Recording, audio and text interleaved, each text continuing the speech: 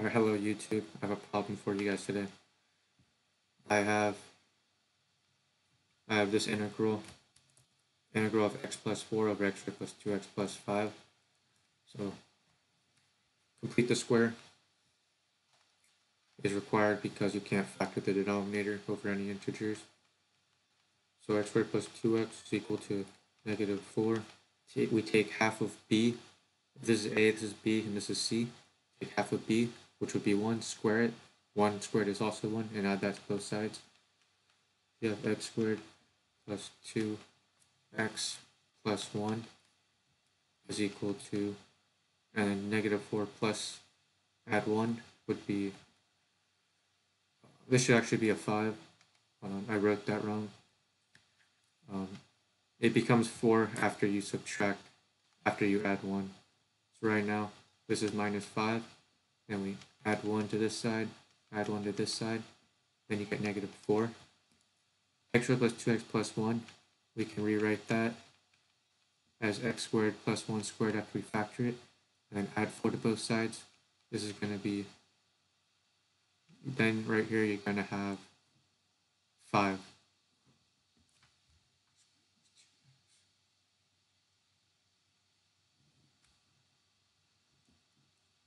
Okay. So I'm gonna rewrite I'm gonna rewrite this integral right here is integral x over x plus 1 squared plus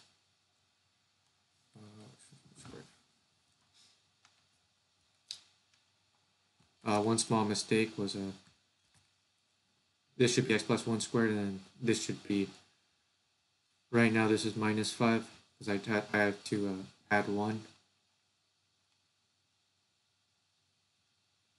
And it should be 4.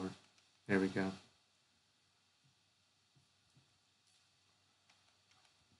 Alright, over here you get, if we bring, we can bring this 4.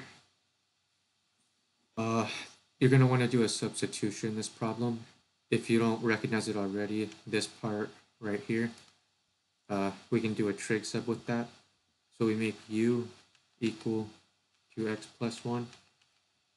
And then we want our substitution to be, the formula for a trig substitution is u is equal to a tan theta, because we're going to use tangent because we have an x squared plus an a squared, and our a squared is 2 squared. So we do plug those in, our u is x plus 1, and our a is 2 tan theta. Take the derivative x of derivative with respect to x. x plus 1 is dx. And then over here, it's going to be 2 secant squared theta d theta. Um, since we're already here, we want to take this second one and we want to solve for theta. So theta, all we have to do is divide by 2 and take tangent inverse. So when we do that, we have tangent inverse of x plus 1 over 2. Okay. Um, so far, everything looks good. Then you can draw draw a triangle to, to visualize why we used it, why we used the substitution. Because if this is um this is tangent inverse, so it's adjacent over opposite, our adjacent, if we draw theta here, is right here. And this is going to be x plus 1, and this is going to be uh, don't forget the squared. x plus 1 squared, and this is going to be 2 squared. That means this side right here is... That means this side right here is uh, x plus 1 squared plus 2 squared.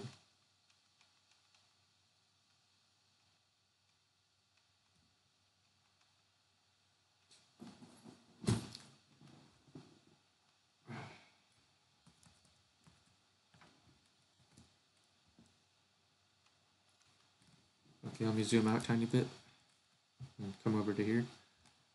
All right.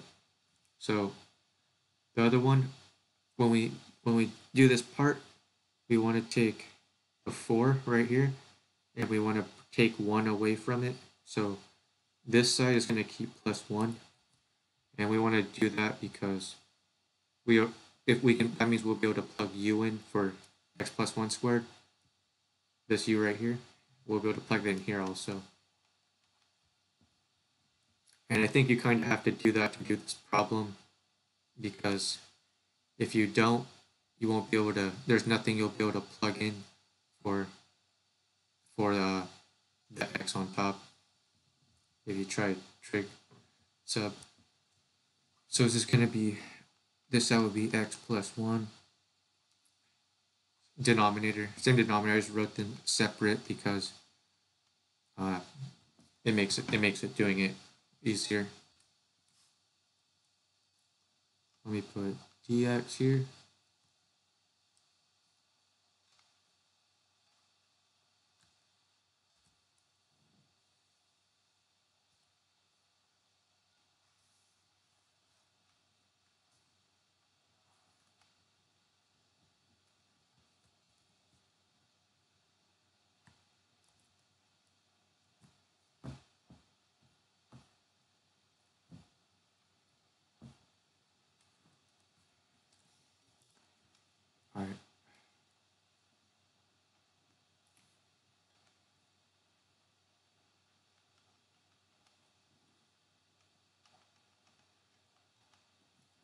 For the first integral, we just plug in u. So that gives us u over u squared plus 2 squared. And then if we plug in for dx, dx is going to give us 2 secant squared theta d theta.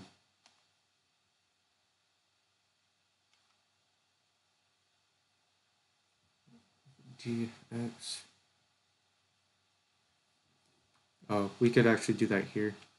du is equal to dx, and then we're just going to have du.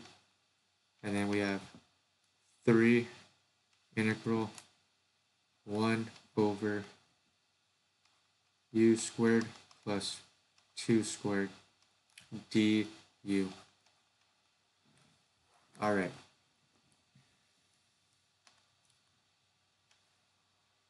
I'm going to draw a dividing line right here. I'm going to finish the rest of the problem on the right side. So by the time you get to this part, you can use a regular substitution. So if we make if we make u equal to the denominator, so I'm going to use a different I'm going to use a different variable. I'm going to use t now. t is equal to let's set equal to the denominator because when we do when we do that, that gives us dt is equal to 2u du, and you see u du right here. So all we have to do now is do dt over 2 is equal to u du. And then we can do that substitution right there. S similarly, uh, we could also, you can't use this on the second one because you don't have a u, but there's still another way to do it. I'm going to switch color because I've been using black for a while use purple. Okay, so for the first part, we can evaluate that now. That's going to be half 1 over 2 integral, and then we can plug dt in over, and then the u squared plus 2 squared, that was our t. Uh, I didn't evaluate that all the way, but that'll be ln whenever you have one over a variable, that's when you use ln. And then for the for this one, uh, this is you could use this formula that we've seen before. I'm gonna write it on the bottom part right here. Whenever you have the integral of one over one plus not one x squared plus a squared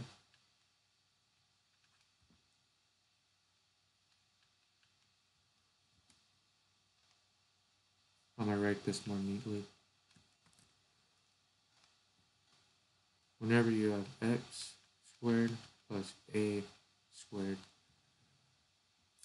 that, that always comes out to 1 over a. tan inverse x over a plus c. And you see we have 1 over u squared plus 2 squared. So we can use that formula. So we can evaluate, evaluate uh, this one right away.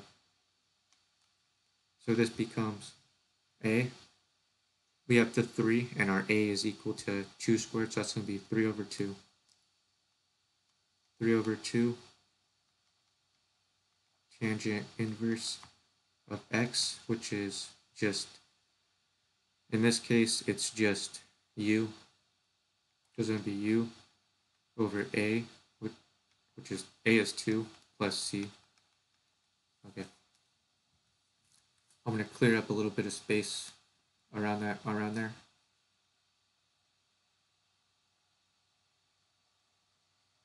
Select. Okay, let me get rid of this part. Alright.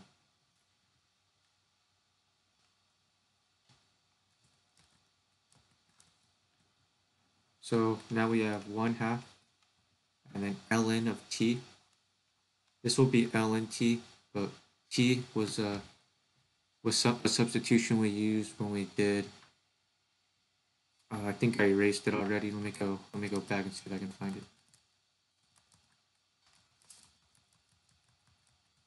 All right here. t was equal to u squared plus 2 squared, and u was equal to x plus 1 squared.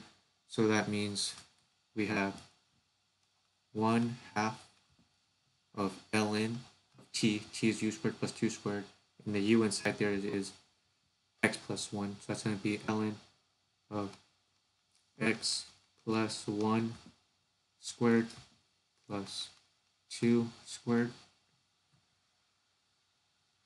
Okay, that's it for that part. And then the next integral, uh, we've already evaluated. We just have to plug u back in. And let me zoom out. I'm just doing a tiny bit, like a quarter of an inch. Alright. Let me see if I can do this the way I want.